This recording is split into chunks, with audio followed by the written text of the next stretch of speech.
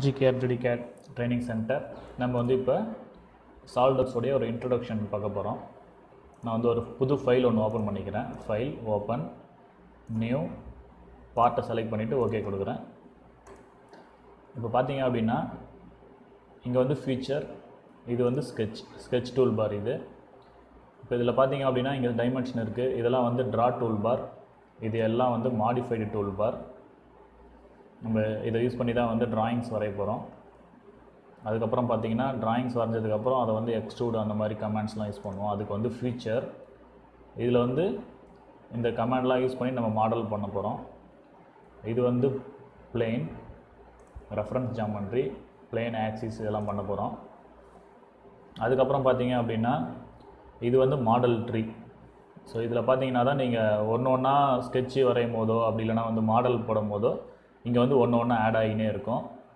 அதை தான் நீங்கள் வந்து இந்த இடத்துல ஒன் பை ஒன்னாக அப்படியே வந்து ஆட் ஆகினே இருக்கும். ஸோ நம்ம ஒரு எக்ஸாம்பிள் ஒன்று பார்க்கலாம் இப்போ. நான் என்ன ஒரு ஃபைல் ஒன்று ஓப்பன் பண்ணிக்கிறேன். ஸோ வில் இதை வந்து இந்த ஓப்பன் பண்ணிக்கிறேன். இதில் பார்த்தீங்க அப்படின்னா இதில் வந்து ரிவால்வ் ஃபஸ்ட்டு பண்ணியிருக்கோம். அப்புறம் வந்து எக்ஸ்ட்ரூட் கட் பண்ணியிருக்கோம். அப்புறம் பேட்டர்ன் பண்ணியிருக்கோம். திருப்பி ஒரு ரிவால்வ் பண்ணியிருக்கோம்.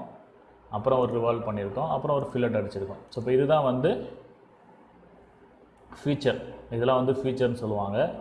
இது ஃபுல்லாக வந்து மா மாடல் ட்ரீ இல்லைன்னா டிசைன் ட்ரீ அப்படின்னு சொல்லுவாங்க. ஒரு ஒரு சாஃப்ட்வேருக்கு ஒரு ஒரு மாதிரி பேர் இருக்கும். இதில் இங்கே பார்த்தீங்கன்னா ஃபியூச்சர் மேனேஜர் டிசைன் ட்ரீ இது பேர் இதுதான் ஸோ இப்போ நம்ம வந்து ஒரு எப்படி வந்து ஒன் பை ஒன்னாக வந்து நம்ம எப்படி பண்ணலாம் அப்படின்றத ஒரு ஒரு கமெண்ட்ஸாக வந்து பார்க்கலாம். நீங்கள் வந்து எந்த வீடியோ வந்து ஸ்கிப் பண்ணாதீங்க. எல்லா வீடியோவும் பாருங்கள் அப்போ தான் வந்து சால்டோக்ஸை வந்து நீங்கள் ஃபுல்லாக கற்றுக்க முடியும். இதோடு இதோட நம்ம வந்து இதை முடிச்சுக்கலாம்.